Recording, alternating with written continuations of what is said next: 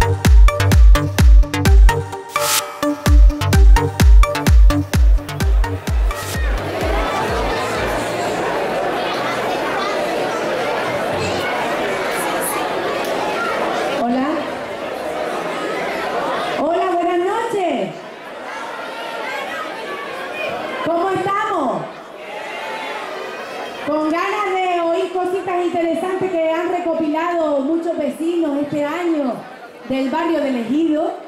Y yo no me quiero extender mucho, simplemente darle las buenas noches, desear que la fiesta sea de su agrado y a continuación les vamos a presentar al pregonero de este año. Eh, lo único, a los chicos vamos a intentar estar un poquito en silencio, ¿vale? Para que así podamos oír lo que Cristo esta noche nos quiere comentar.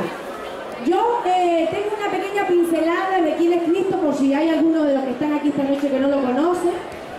Y, sin más preámbulos, quiero pues comentar que Cristo Gil Melián es hijo de Fernando Gil Suárez y Antonia Melián Ramos. Aquí, vecino de toda la vida del elegido. Nació en el año 1968.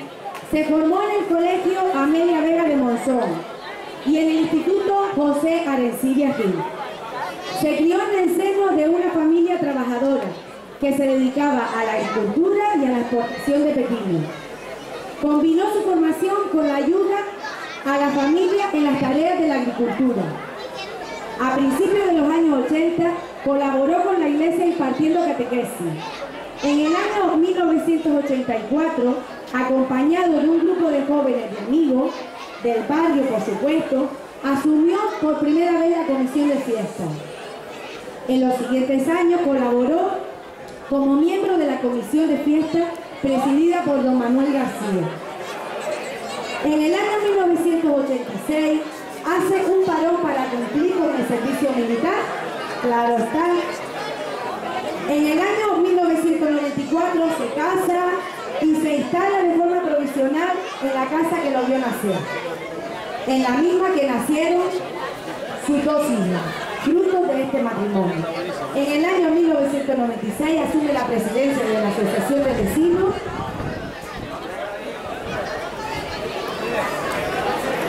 de San Pedro y simultáneamente con su mismo equipo lleva la comisión de fiesta. Seguramente algunos de los que están aquí esta noche, esto le está haciendo recordar muchos momentos que han vivido con él. Y yo que antes le decía, pero vamos a ver cómo no me ha cogido el micrófono. Si yo esto lo he mamado de ustedes, señores, y esto hay que seguir trate. La fiesta de San Pedro se tiene que seguir celebrando y de nuestra Virgen del Carmen, ¿sí o no? ¡Viva San Pedro y nuestra Virgen del Carmen! ¡Vamos, aplausos!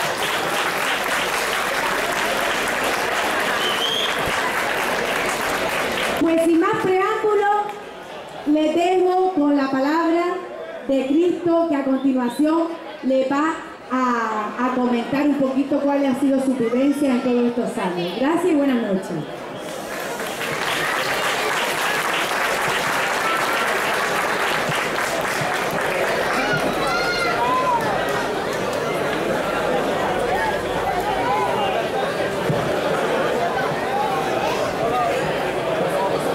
Buenas noches, queridos vecinos, visitantes y autoridades.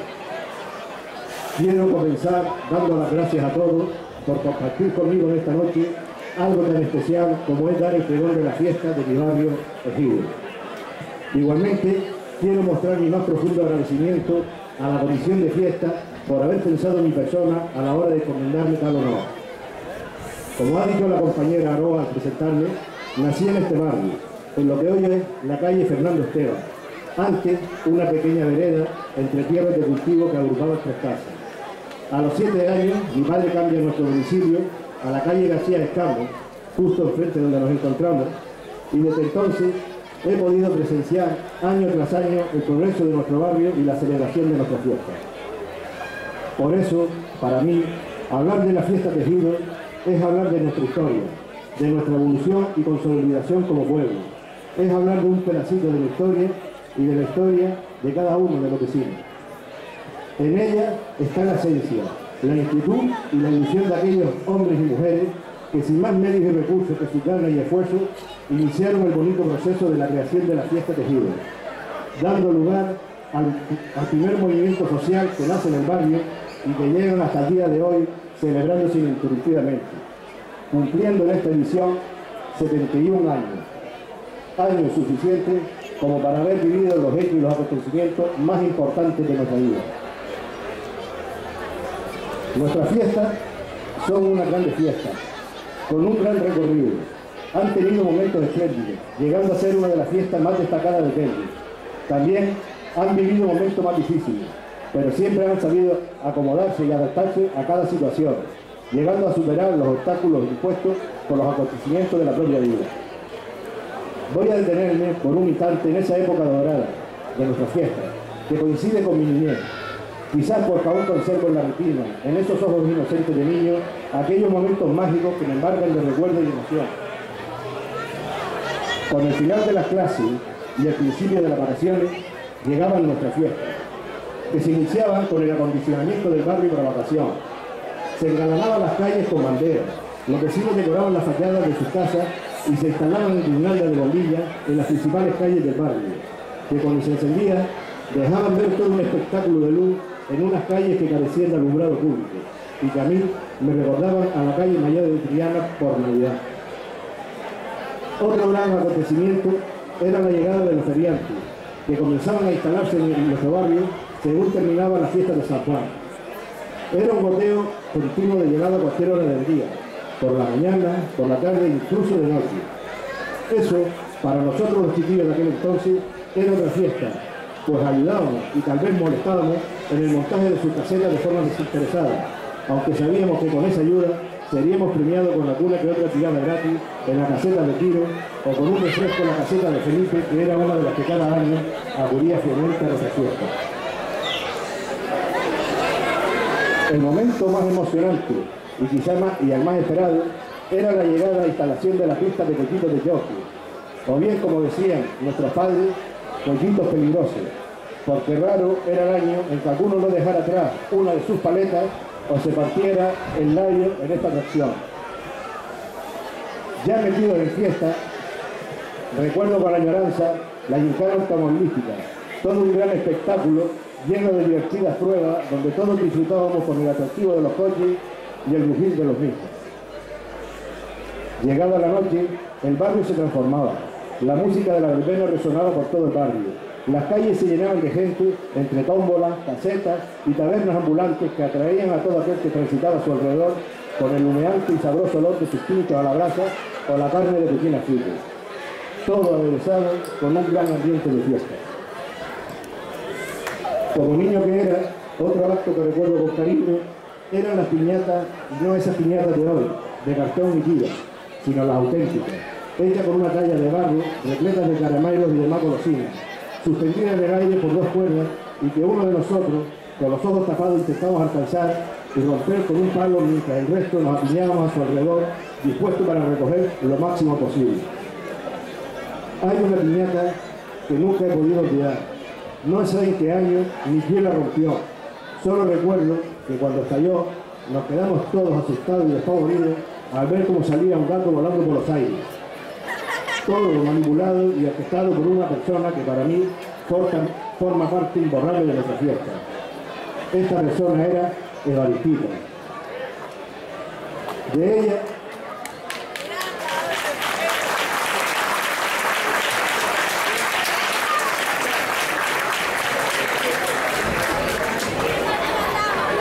De ella guardo un recuerdo, aunque algo dulce, que si me permite, les explico.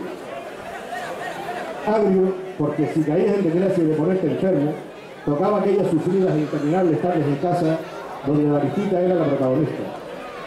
Recuerdo que siempre las acompañaba con aquel inquietante estuche metálico que guardaba aquella aparatosa jeringa de cristal y que ella sacaba muy sigilosamente como si de un ritual se tratara y la ponía a hervir en agua mientras charlaban y saboreaban el café familia. Yo albergaba la esperanza de que se olvidaran de mí y que, continua, y que continuara con su entretenida charla. Qué inocente. A ella, a Evaristita, se dibujaba una sonrisa revisa en su cara mientras decía eso de agarren al niño. Y yo salía hasta el último rincón de la casa entre sollozos y gritos de auxilio que nadie parecía escuchar, para finalmente, sujeto por alguien de, de mi familia, ella aceptar sin titubeo aquella dolorosa ilusión que parecía no tener fin.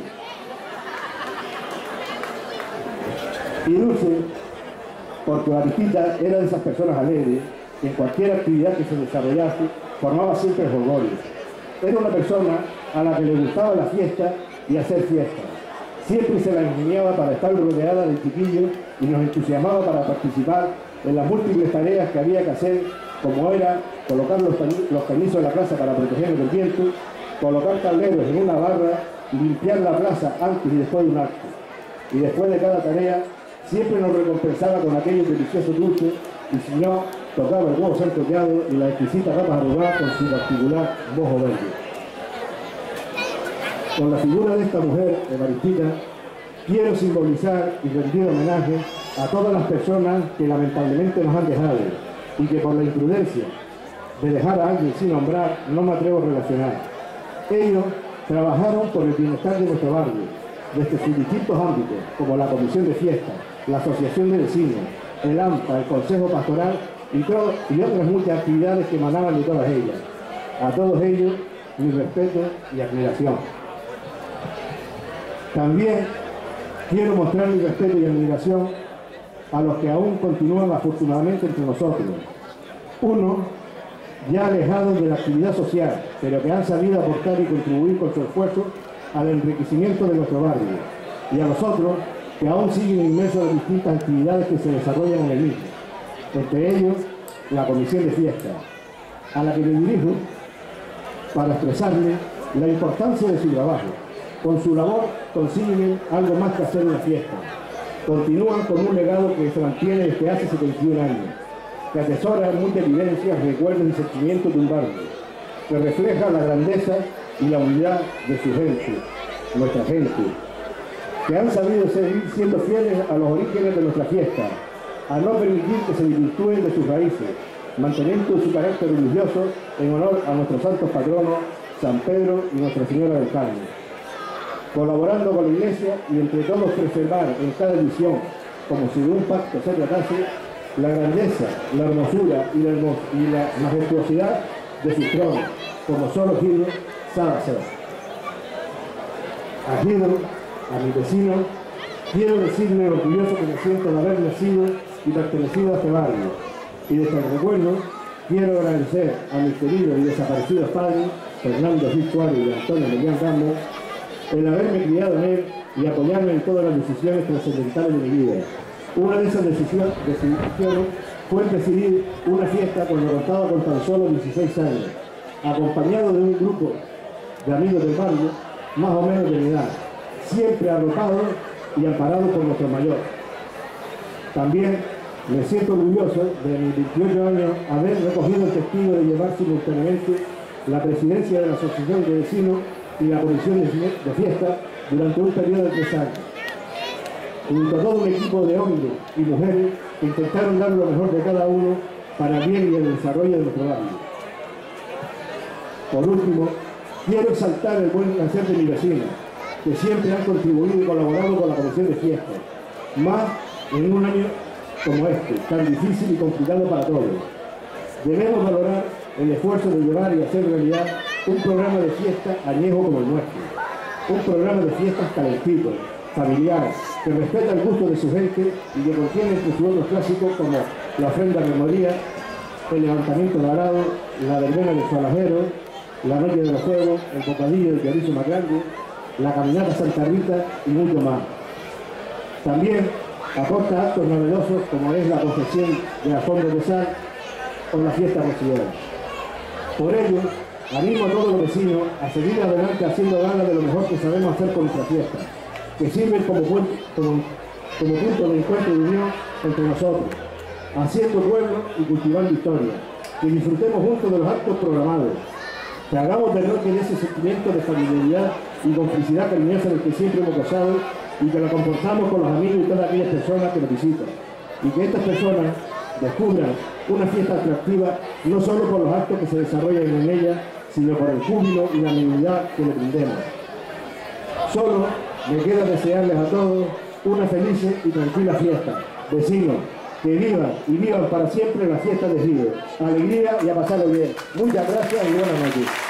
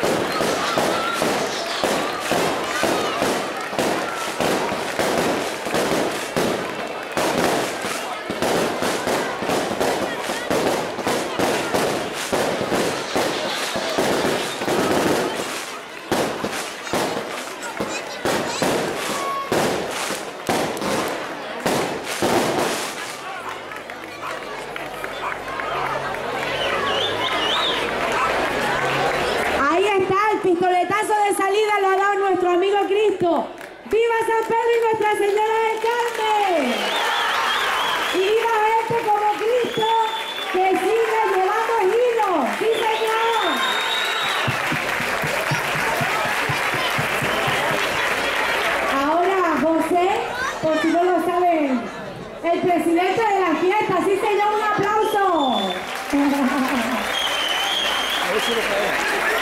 Le hace entrega de un reconocimiento, una plaquita, donde si quiere leerlo en alto, Cristo.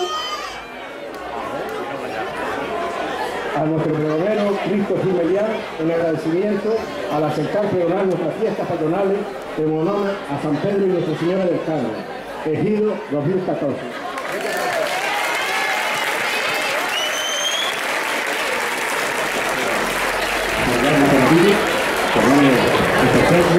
yo les digo que yo tenía un detalle pequeño particular con la comisión de fiesta y era poder entregar una copia de mi pregón a su presidente para que lo mantenga y lo mantenga la comisión de fiesta.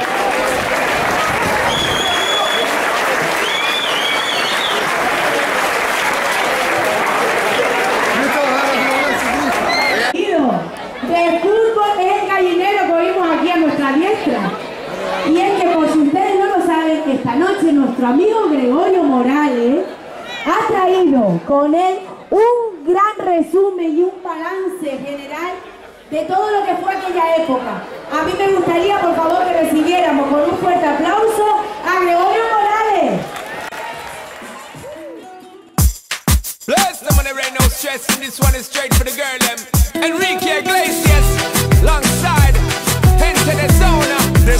Get the girl,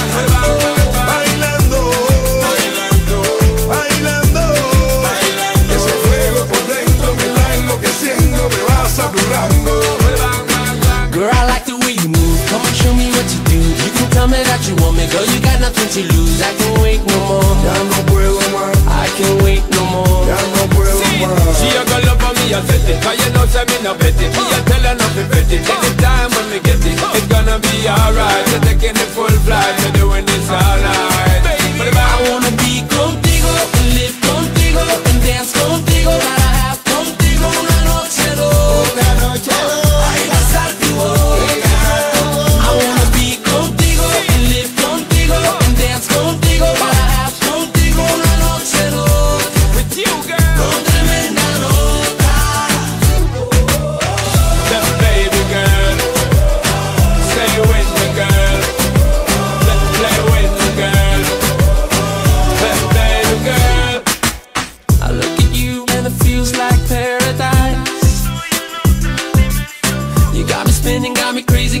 hypnotized.